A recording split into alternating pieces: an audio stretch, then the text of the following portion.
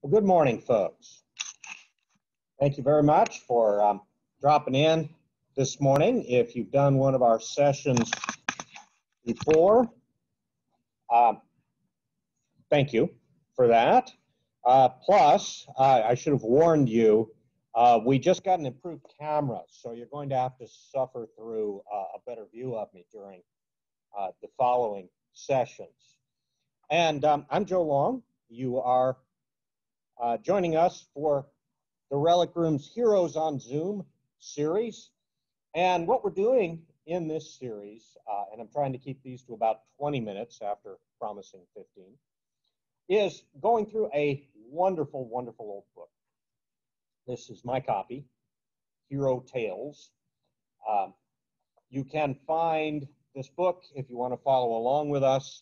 Um, free online in a variety of places. It also remains in print, even though it was first published in 1895. And the idea of Hero Tales was to uh, have short essays for young people on great events and great characters in American history, specifically uh, with the idea of showing them what it meant to be an American and teaching leadership lessons along the way. And a unique thing about Hero Tales is that it's a story of stories of American heroes by a pair of American heroes. Um, you may not recognize one of these gentlemen, Henry Cabot Lodge, a tremendous statesman, but the other might be familiar to you from Mount Rushmore, and that is none other than Theodore Roosevelt himself. So we're getting advice and insights about American heroes from American heroes. Uh, and I think that that's a privilege and one for us to enjoy. So today's lesson is on the Battle of Bennington. And that's an unusual choice in a way because much more um, focused on in history usually is the Battle of Saratoga, which would come not long after Bennington and was a much larger fight. So, whenever you're looking at history uh, or when you're looking at news, there are so many stories to tell. It's worth asking yourself, why are they telling this one? And Roosevelt and Lodge are pretty upfront about why they're telling this story of the Battle of Bennington. If you were with us last time, we talked about Trenton, where George Washington triumphed um, using clever strategy and great initiative. Now, Washington's victory has, has made a difference. And part of the difference is an alliance with France. And the strategic situation is changing, but it's going to be the Battle of Saratoga that really turns the tide. Yet the Battle of Saratoga, which they skip in Hero Tales, is brought about largely by success at this smaller fight earlier at Bennington. And the man who leads the troops at Bennington is John Stark.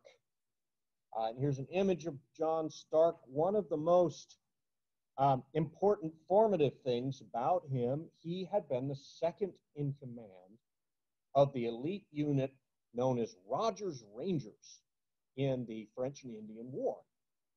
Uh, that was where his military experience was from. And that was a very good resume. The other thing about John Stark, his quote appears on every uh, New Hampshire license plate these days. The quote, to live free or die, came from a letter that he wrote in later years to a veterans reunion. Uh, the full quote, in fact, was Live free or die, death is not the worst of evils. So let's take a closer look at this fellow Stark. Um, John Stark was appropriately a strong man, a strong personality. Stark is actually the German word for strong. And perhaps when the Hessian mercenaries he would fight at Bennington learned who was commanding the opposite army, um, that, that name Stark might have made a, an impression on them. Um, he was a he was a tough fella, to say the least. Rogers Rangers was an elite unit that operated far behind enemy lines. And at one point in that earlier war on the frontier, uh, Stark had actually been captured by the Abenaki Indians, uh, which was potentially a, a not just a death sentence, but a death by torture sentence. But while captured, he managed to warn the rest of the party he was with so that his brother, also in Rogers Rangers, and others could get away. Uh, he was brought back to an Abenaki village um, by his courage. Uh, rather than being tortured to death, he wound up being adopted uh, and having foster parents in the Abenaki tribe. Uh, he would escape, return to service with Rogers Rangers, served bravely and well, rising to second in command. And then Rogers planned a deep behind the lines assault on an Abenaki village. And this happened to be the one his foster parents lived in. And uh, Stark simply but defiantly refused to go along on that expedition. And we're going to see that his strong personality affects a lot of his career. In fact, in the next war, in the American Revolution, veterans of Rogers Rangers were much in demand. They were the expert frontier fighters. And so he's quickly welcomed into the Continental Army and given a commission. Uh, he fights very bravely, particularly at Bunker Hill. Uh, and that is a, a battle that was legendary for American bravery. And he's an outstanding officer at Bunker Hill. And a little bit later in his military career for the Continental Army, he is sent on a recruiting mission. Now, this is very important. Uh, we were hearing about how hard George Washington had to work to keep the numbers of the army up and how the, the troops tended to fade away to go back to their farms and businesses and take care of their families. And it, was, uh, it was a continuous challenge. But while he was away on a recruiting mission, a man he considered an incompetent was promoted over his head. And Stark resigned from the Continental Army. This was disgusting. This was incompetence. He wasn't going to put up with this. He wasn't changing sides or anything. But he was going to go home and not fight again except in command of uh, New Hampshire militia. So we're talking about a pretty difficult human being. But his leadership is going to be critical in charge of New Hampshire militia at that Battle of Bennington. Now, let me move to the discussion that Lodge and Roosevelt give us of that particular battle. Um, what's happening is an attempt by the British to sweep down and cut off the New England states from the rest of the American colonies. Uh, they have overwhelming force to do so with, but a critical advance party that's being sent ahead is met by um, Stark's militia. At first, all went well, that is, to the British. The Americans were pushed back from their posts. By the end of July, Burgoyne was at the headwaters of the Hudson and had sent out a force to take possession of the Valley of the Mohawk. To aid that force by a diversion, and also to capture certain magazines, that is, um, uh, armament storage places, that were reported to be at Bennington, Burgoyne sent another expedition to the eastward. This is the one Stark's going to fight against. It's not a huge force, and this is not a huge battle. And just like we saw from George Rogers Clark two sessions ago, small forces in a small fight can actually be very critical to the big picture. This force consisted of about 550 white troops, chiefly Hessians, German mercenaries, and 150 Indians, all under the command of Colonel Baum. They were within four miles of Bennington on August 13, 1777, encamped on a hill. Well, Stark, typically for him, uh, he's raised a pretty big militia force and begins his campaign here, his, his battle at Bennington, by disregarding orders. He's been ordered to rejoin the main American army, the one which he had resigned from. He's no longer a Continental officer, and he says he won't answer to them anymore. He's got his own ideas, and he marches at once to meet Baum instead. He's within a mile of the British camp on August 14th. On the 15th, it rained heavily, and the British occupied their time entrenching themselves strongly on a hill. So now they've got the high ground and they are fortified. He's also sent for reinforcements. The weather cleared. Stark determined. Early in the day, he sent men under Nichols and Herrick to get into the rear of Baum's position. The German officer, ignorant of the country and of the nature of the warfare in which he was engaged, noticed small bodies of men in their shirt sleeves carrying guns without bayonets making their way to the rear of his entrenchments. Baum sees these guys probably in their hunting shirts like mine. They have weapons without bayonets. Now, what that means is they're not professional soldiers. And they're just waltzing along, strolling around the hill that he's on. Um, oh, I'm sorry, I pointed out my hunting shirt without changing the camera. This is uh, something some of y'all got to look at earlier with the terrible camera, but you get a better look at the hunting shirt here. In any case, he sees guys in civilian clothing, not uniforms. They're carrying civilian weapons. That's what the part without bayonets means. It means, uh, you know, it's, it's ordinary weapons not issued by an army. And he just ignores this. Uh, they must be loyalists. They're loyal citizens of the king coming to help us defend against the American militia. Um, this is unbelievable naivete. But maybe just the chutzpah of walking past fully armed in full view of the British troops and taking up a position in their rear, nobody would do that. Just walk around to the enemy because these, of course, are among Stark's men. And he surrounds this entire hill. A little editorializing here by the authors with singular stupidity. He concluded they were Tory inhabitants who were coming to his assistance. He made no attempt to stop them. Stark was enabled to mass about 500 men in the rear of the enemy's position. Distracting the attention of the British by a feint, he also moved about 200 men to the right. And having brought all of his forces into position, he ordered a general assault, and the Americans proceeded to storm the British entrenchments on every side. The fight was a very hot one and lasted some two hours.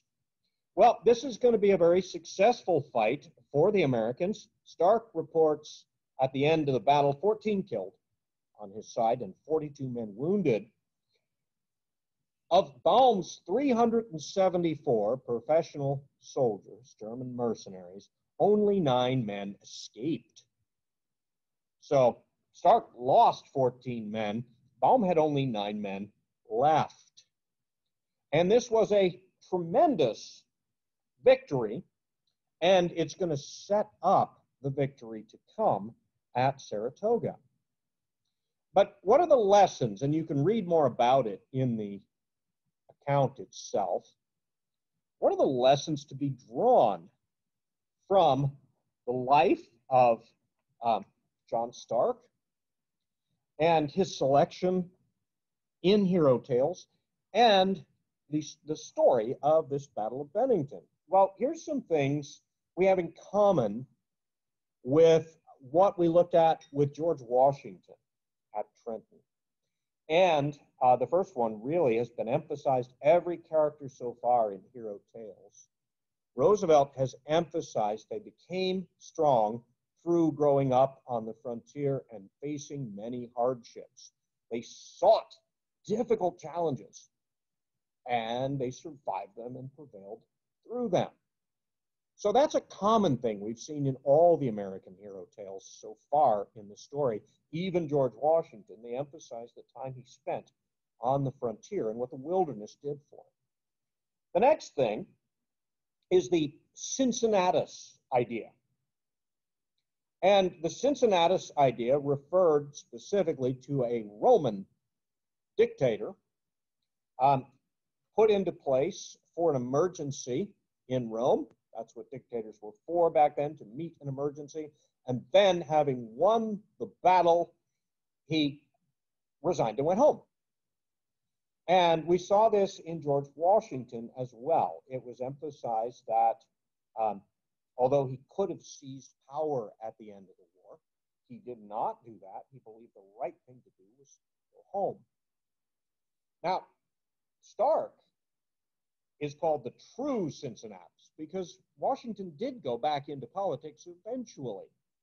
Uh, Cincinnatus, or uh, Stark did not. The rest of his life, he would live out quietly as a farmer. He had won his battle. Uh, he helped to win the war itself, and then he went home. And that's really looked at as, as a virtue compared to so many other nations where military success also meant seizing control of the government in some way. We also talked about with George Washington at Trenton total commitment. Um, once he had chosen the correct path to take in challenging the British uh, at Trenton and at Princeton, George Washington, um, there was no room to vacillate. Once the correct short, uh, course was chosen, he risked all and put everything into it. Well, we're seeing that very much also from Stark. He has complete commitment, both at Bunker Hill, at Bennington, and as well in his most famous quote after the war that's held up as um, sort of the, the summary of his message live free or die.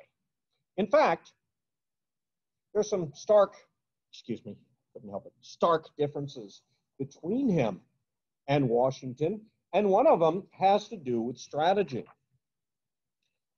The way that Roosevelt puts it is almost demeaning. It was not a battle in which either military strategy or scientific management of troops was displayed. All that Stark did was place his men so they could attack the enemy's position on every side and then the Americans went at it, firing as they pressed on. The British and Germans stood their ground stubbornly. The New England farmers rushed up within eight yards of the cannon and picked off the men who manned the guns. Stark himself was in the midst of the fray, fighting with his soldiers, and came out of the conflict so blackened with powder and smoke that he could hardly be recognized. No clever strategy here. But a lack of clever strategy from this really experienced veteran, this lack of clever strategy from Stark is the best strategy available because of the nature of his troops. He knows their limitations. Uh, and as another author put it, Stark had a rare and priceless quality. He knew the limitations of his men. They really hadn't been trained. They just had their civilian weapons. Their discipline was lousy. Uh, they definitely didn't want to get shot.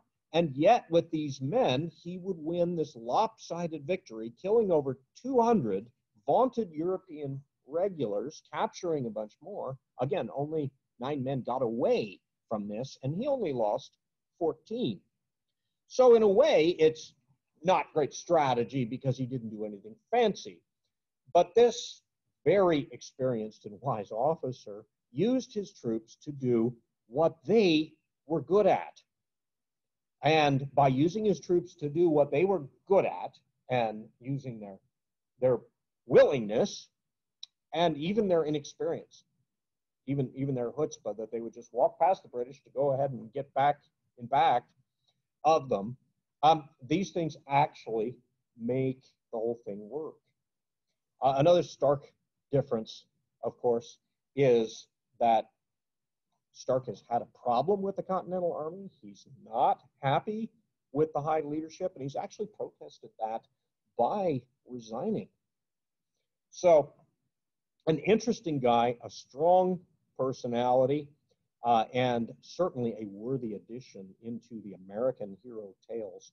Uh, and just to mention it, uh, and hopefully none of the vandals uh, are watching my videos here, uh, but there is a great statue and a wonderful monument to Stark at the site of the Battle of Benton, um, uh, the Battle of Bennington. this is a 306 foot tall battle monument with his statue in front of it. And in 1945, his quote, live free or die, was officially adopted the motto of the great state of New Hampshire. Now, as usual, I've run more than five minutes over time. There's so much rich material in these stories. Uh, I hope that you will join me on Tuesday as we return to the South uh, and to what's a local fight for us South Carolinians. That's the battle at Kings Mountain.